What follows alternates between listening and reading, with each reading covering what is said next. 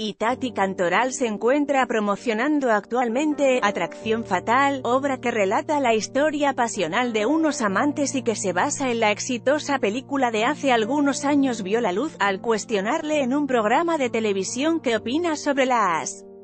amantes, y Tati reveló. Asimismo, la bella actriz aseguró que se encuentra soltera y que por el momento está enfocada solo en el trabajo y en dar las últimas funciones del año para la gente que visita la CDMX en estas fechas decembrinas.